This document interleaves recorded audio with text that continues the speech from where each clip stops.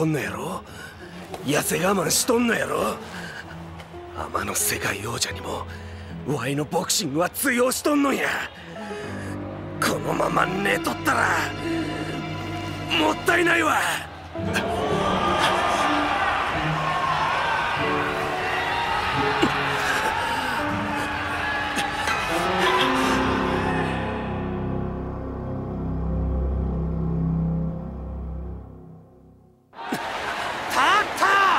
恐ろしいガッツ決定的かと思われたダウンから立ち上がりました。ででも立ってるのがやっとだよ。6ラウンド残り7秒。倒しきるには十分だ。足が出遅れた。ボディが効いてるんだ。これで決める。体が動け。へんあかん。沈むかかわした！ここで第6ラウンド終了のゴングだ！先導首の皮1枚残した！すごい！ロープを沈ませてホワイトファンゴをかわした！偶然だ。倒れそうになったところにロープがあっただけさ。見たかワイのホワイトファング破り。ええから黙っとけ。ダメージ回復させるんや。悔しいが技術が桁違いや。まともにいっても通用せえへん真正面に立つな。フェイント混ぜてコツコツいくんや。クソぐらいや。何？わいは真っ向勝負で行くで。それでなかったらあかんのや。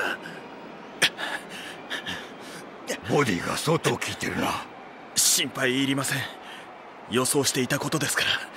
あれほどのハードパンチャー相手に無傷では勝てません、うん、会場中を敵に回しても驚くべき冷静さだかつての甘さはもはやない。強いボクサーになったな。大声援に乗ったボクサーはピンチから一気に蘇生することがある。唯一それに気をつけるんだ。はい。さあ第7ラウンド。両者前に出た。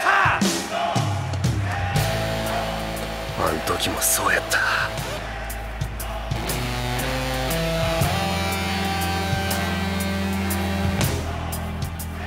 みんながワイの名前を呼んでくれたんや。ワイが勝つのを楽しみに待っとるんや。この声援を2回も裏切るわけにはいかんわ。まだこれだけのパンチが打てるのか。そうか。この声援に背中を押されてるんだな。僕の名前など聞こえはしない。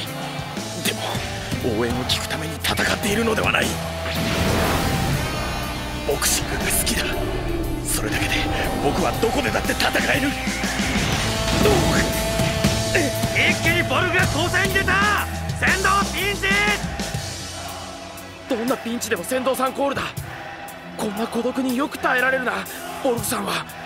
ボクシングやるのに異国やまして孤独など関係ない。気持ちはわかるぜボルグさんよ。我慢や。我慢。見てみ。ボルグからのサイドステップがのうなったで。ボディが効いて横に動かれへんのや。もうちょいや。もうちょい前に。ここや。先導ボディ。このボールは左を返した。上下の叩き合いになった。我慢比べか。先に落ちるのはどっちだ。も引かない。引いた方が負けさ。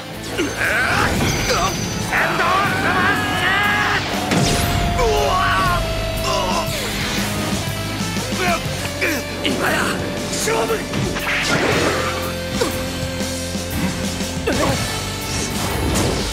クイックシフト。サウスポーに切り替えた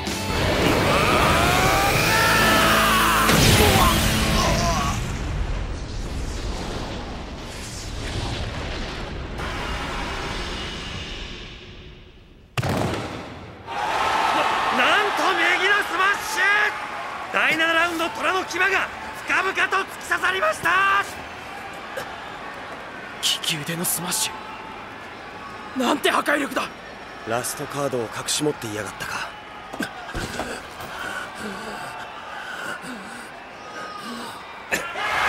利を確信両手を突き上げた。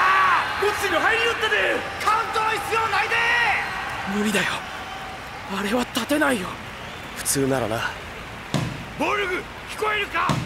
ボルグ諦めたら全てが終わりだ君はこんなところで終わっていいのか？頑張れボルグ！終わるわけにはいかない。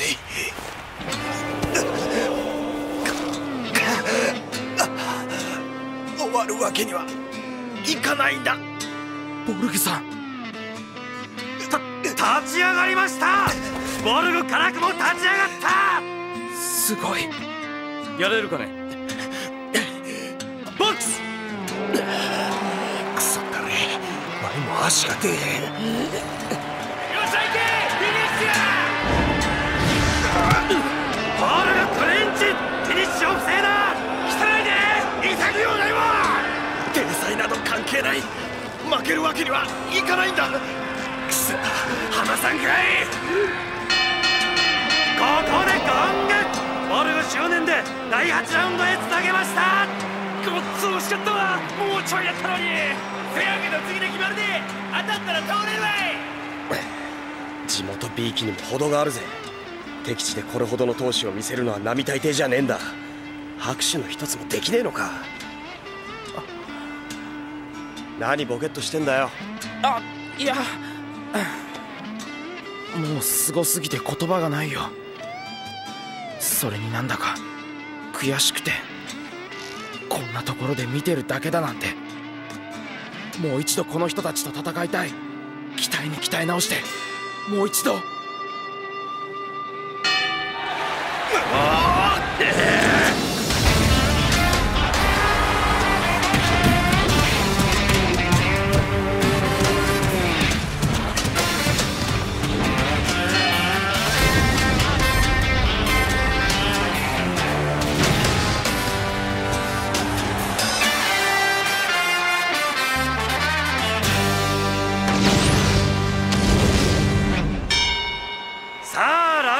ラウンド10ファイナルラウンドです。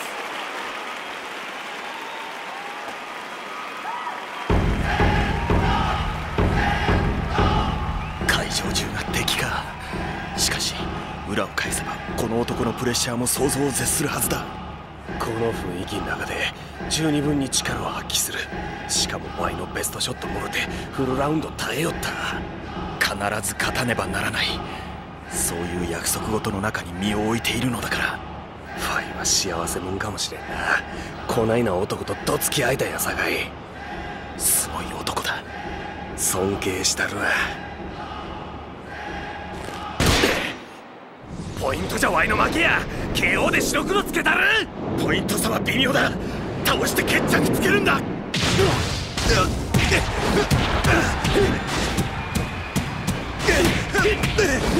もうどっちにも負けてほしくないよ。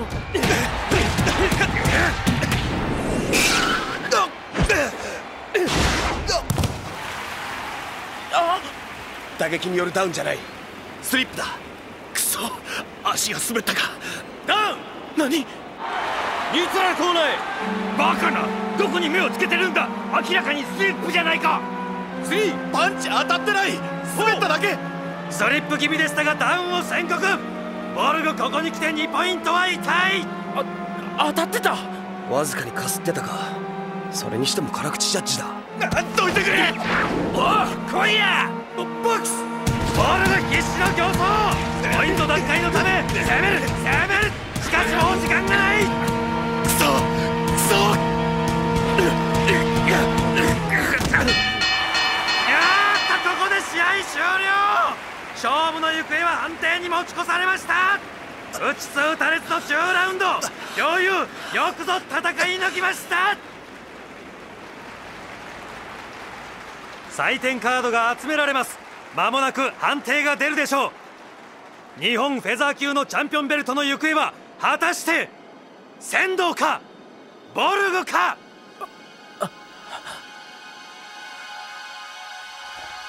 少々。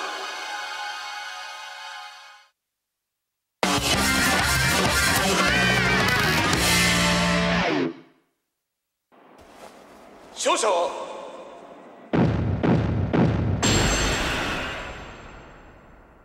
赤コーナー先導。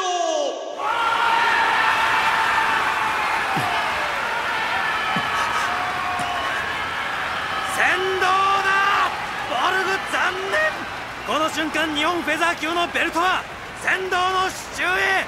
なにわの虎が地元大阪で見事日本チャンピオンに輝きました。仙道さんが新チャンピオンだ。あああボルグさんは？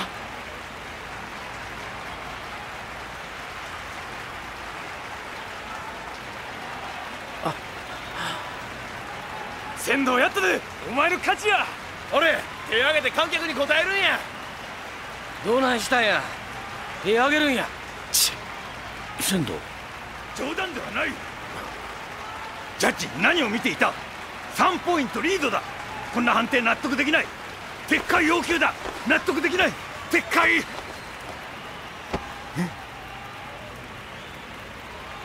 オルク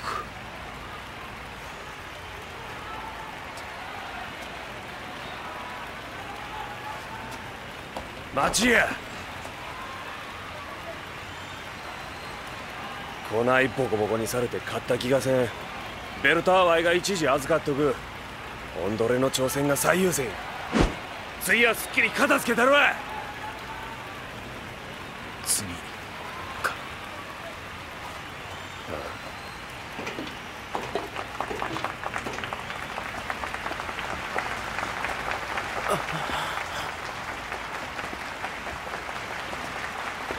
俺の採点はボルグのリードだったんだが判定に文句をつけても後の祭りだ。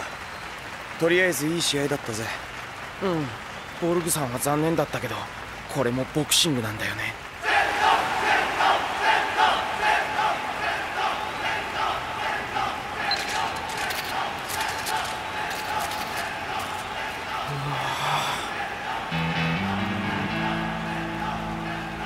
やっぱりいいな。リングの上は。僕も早くリングに立ちたい。ボクシングがやりたい。今すぐにでも。あれ？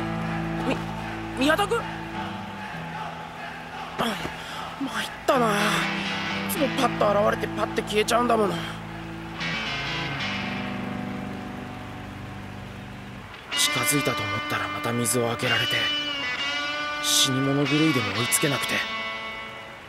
ボクシング界ってすごい人たちばかりだ。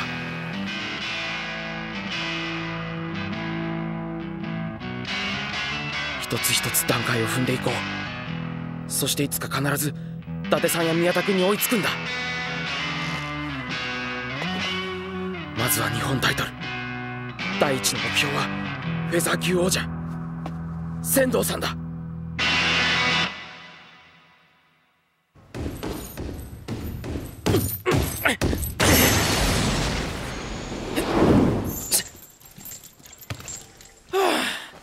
小僧どか。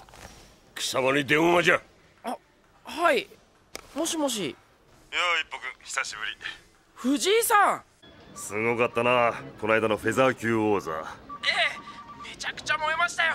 仙道さんもボルグさんもすごくて。ああそれについて君のコメントも後でゆっくり聞きたいんだけど時間がないんで要件だけ伝えるよ。今さっき入った情報だオトワジムがボルグザンギエフとのマネージメント契約を切ったそうだ。今日の夕方にもロシアに返されるらしい。え？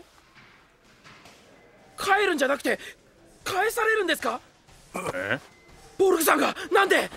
君には伝えておこうと思ってね。じゃまた後で。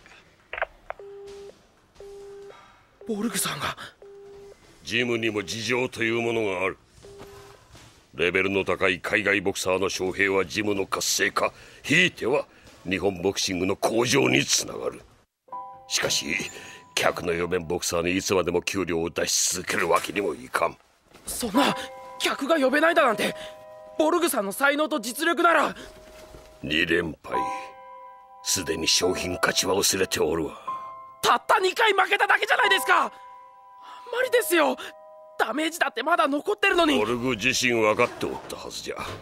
プロのリングでたった5戦しかしておらんがその全てに排水の陣で臨んでおったのじゃろう。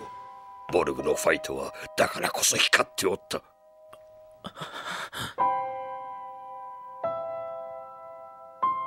分かっていたんだ。ボルグさんは決して打たれ強くない。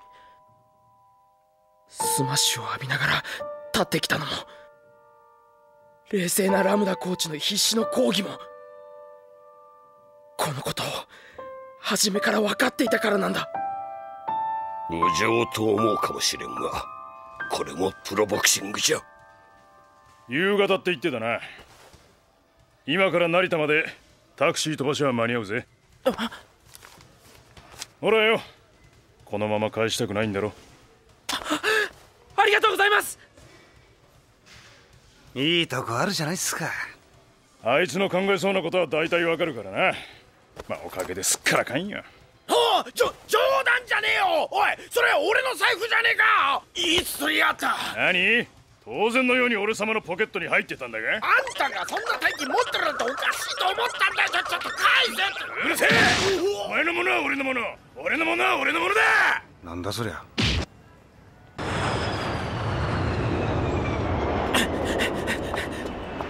とにかく会うんだ。会って一言でも何でもいいから話したい。そう空港なんて初めてだから分かんないよ。すみません呼び出しお願いしたいんですけどあのロシア行きのですね。あああボルグさん！幕の内来てくれたんですね。あのあのですねその急にこんなことになってしまってそのなんて言っていいか。仕方ない。結果全ての世界だから。僕プロのリングで通用しなかった。それだけのこと。そそんなことない。そんなことないです。ボルグさんは強かった。どの試合も強くて素晴らしくて正直悔い残っています。夢持ってこの国来て何もできなかった。とても残念。ボルグさん。でも同情いらない。祖国に持ち帰るもの何もないわけじゃない。え。プロボクシングのリングの厳しさ知った。楽しさを知った。ボクシングする意味知ることできた。君に感謝しています。え僕に？祖国に帰ったら君に教わったこと後輩に伝えていきたい。そして自慢する。僕日本で強いボクサーと戦ってきたと。一歩幕の内という素晴らしいファイターと戦ってきたとね。そんな。その時はチャンピオンでいてほしい。日本じゃなくもっとスケールの大きな。日本じゃない。約束できなくていいです。今は。暴力。時間。行かなくては。もう古くなったけど君に持っていてほしい。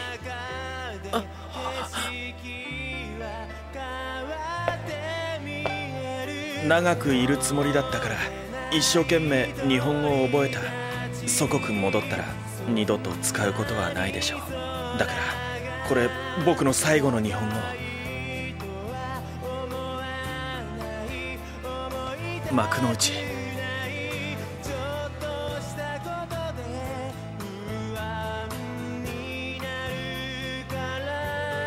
さようなら。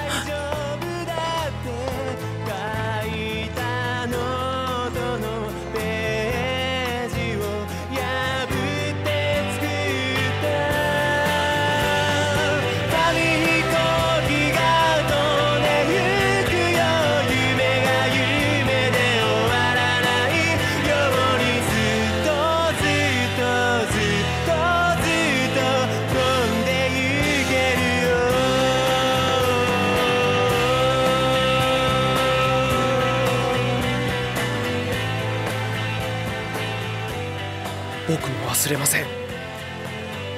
オルグさんのことを。オルグさんと戦ったことを。